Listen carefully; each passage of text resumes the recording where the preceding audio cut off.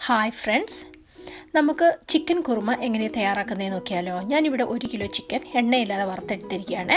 അതേ സെയിം പാനിലേക്ക് ഞാൻ കുറച്ച് സ്പൈസസ് ഇട്ട് കൊടുത്തു. അതിലേക്ക് ഞാൻ ഒരു ഉള്ളി വലുതാക്കി അരിഞ്ഞെടുത്തതും രണ്ട് പച്ചമുളകും കൂടെ ചേർത്ത് നന്നായിട്ടൊന്ന് വഴറ്റിയെടുക്കുക. അതിലേക്ക് ഇഞ്ചി വെളുത്തുള്ളി പേസ്റ്റ് ഒരു ഒന്നര ടേബിൾ സ്പൂണോളം ചേർത്ത് കൊടുക്കുവാണ്. എന്നിട്ട് നമുക്ക് നന്നായിട്ടൊന്ന് ഇളക്കി വഴറ്റിയെടുക്കാം. ഞാനിവിടെ എക്സ്ട്രാ എണ്ണയൊന്നും ചേർക്കുന്നില്ല. അതിലേക്ക് കുറച്ച് മഞ്ഞൾപ്പൊടി ചേർത്ത് കൊടുക്കുവാണ്. എന്നിട്ട് നമുക്ക് നന്നായിട്ടൊന്ന് ഇളക്കിയെടുക്കാം. ഉള്ളി എപ്പോഴും പെട്ടെന്ന് വഴന്ന് കിട്ടാൻ വേണ്ടി നമുക്കതിലേക്ക് ആവശ്യത്തിനുള്ള ഉപ്പ് ആദ്യമേ ചേർത്ത് കൊടുക്കുന്നത് വളരെ എളുപ്പത്തിൽ വഴന്ന് കിട്ടാൻ നല്ലതാണ്. അതുകൊണ്ട് ഞാൻ ഉപ്പ് ചേർത്ത് കൊടുത്തു.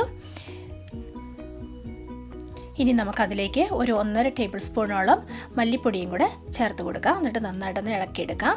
എന്നിട്ട് ഒരു ഒന്നര ടീസ്പൂണോളം മുളക് പൊടി. ഇത് അത്യാവശ്യം നല്ല എരിവുള്ള മുളക് പൊടിയാണ്. കൂടുതൽ എരിവ് വേണ്ടവർക്ക് കൂടുതൽ മുളക് പൊടി ചേർത്ത് കൊടുക്കാം. ഈ മസാല എല്ലാം നന്നായിട്ട് വഴന്നു വന്നിട്ടുണ്ട്. നമുക്കതിലേക്ക് ഞാനിത് പകുതി വേവായിട്ടേ ഉള്ളൂ ഈ ചിക്കൻ വറുത്ത് വെച്ചത്. അതിപ്പോൾ ചേർത്ത് കൊടുക്കുക എന്നിട്ട് നന്നായിട്ട് നിളക്കിയെടുക്കുക അതിലേക്ക് നമ്മൾ ഒരു രണ്ട് തക്കാളി ഞാൻ ചോപ്പറിലിട്ട് നന്നായിട്ട് ചോപ്പ് ചെയ്തെടുത്താണ്. അതും കൂടെ ഇതിന്റെ കൂടെ ചിക്കന്റെ കൂടെ ചേർത്ത് കൊടുത്ത് നമുക്ക് നന്നായിട്ട് ഇളക്കിയെടുക്കാം. നന്നായിട്ടൊന്ന് ചൂടായി വന്ന ശേഷം നമുക്ക് രണ്ടാം പാൽ ചേർത്ത് കൊടുക്കാം. ഇനി രണ്ടാം പാലായിട്ട് തേങ്ങ പിഴിഞ്ഞെടുക്കാത്തവർ ടിൻ പാലാണ് ഉപയോഗിക്കുന്നതെങ്കിൽ തിക്ക് പാൽ കുറച്ചെടുത്ത് മാറ്റി വെച്ച ശേഷം കുറച്ച് പാലിനകത്ത് നമുക്ക് വെള്ളം ചേർത്ത് ഡയലൂട്ട് ചെയ്തിട്ട് രണ്ടാം പാലായിട്ട് ഇവിടെ ഉപയോഗിക്കാവുന്നതാണ്.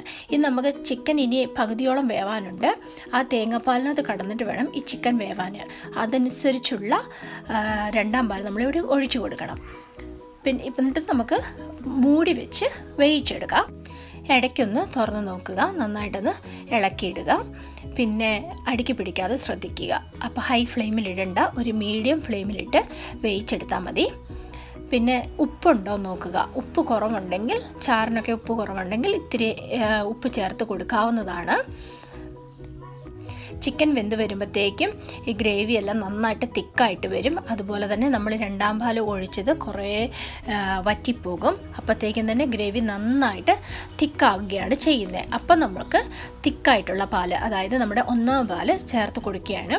ഒന്നാം പാൽ ചേർത്ത് കൊടുത്ത ശേഷം നമ്മൾ പ്രത്യേകം ശ്രദ്ധിക്കുക. കറി പിന്നെ തിളയ്ക്കരുത്. തിളച്ച് കഴിയുമ്പോൾ നമ്മുടെ കറിയുടെ ടേസ്റ്റ് മാറും. പിന്നെ സ്റ്റവ് ലോ ഫ്ലെയിമിലേക്ക് ആക്കാനും ശ്രദ്ധിക്കുക.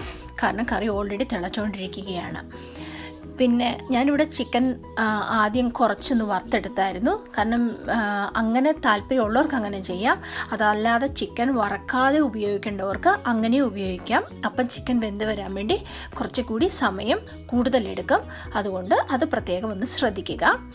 ഇനി നമുക്ക് കറിയിലേക്ക് താളിച്ചൊഴിക്കുകയാണ് ചെയ്യേണ്ടത്. അതിന് ഒരു പാൻ ഇവിടെ വെച്ചു. അതിലേക്ക് കുറച്ച് എണ്ണ ഒഴിച്ചു കൊടുത്ത് എണ്ണ ചൂടായ ശേഷം അതിലേക്ക് കടുക് ചേർത്ത് കൊടുക്കുകയാണ്. കടുക് പൊട്ടി വന്ന ശേഷം നമുക്കതിലേക്ക് ഹോൾ സ്പൈസസ് അത് നമ്മുടെ കയ്യിലുള്ളതുപോലെ ഇട്ട് കൊടുക്കുക പിന്നെ ഇതിലേക്ക് രണ്ട് മൂന്ന് ഏലക്ക കൂടുതൽ ചേർത്ത് കൊടുക്കുക. പിന്നെ കറിവേപ്പില.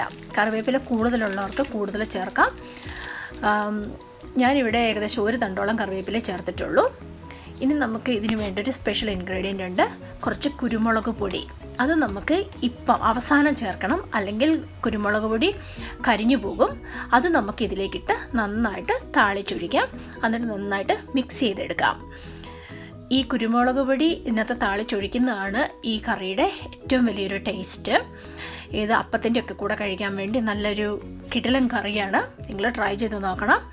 നിങ്ങൾക്ക് ഇഷ്ടപ്പെട്ടെങ്കിൽ ലൈക്ക് ചെയ്യാനും ഷെയർ ചെയ്യാനും മറക്കരുത്. നമ്മുടെ ചിക്കൻ കുറുമ ഇവിടെ റെഡി ആയി കഴിഞ്ഞിരിക്കുന്നു. ഇത് വളരെ ടേസ്റ്റിയാണ് ഞാൻ ഒരുപാട് എരിവ് ചേർത്തിട്ടില്ല. പിന്നെ അഭിപ്രായങ്ങളും നിർദ്ദേശങ്ങളും കമന്റ് ബോക്സിൽ എഴുതി അറിയിക്കുക. Thank you for watching curry leaf അടുത്ത പ്രാവശ്യം വേറൊരു വേറിട്ട റെസിപ്പിയുമായിട്ട് ഞാൻ വരുന്നതായിരിക്കും. Thank you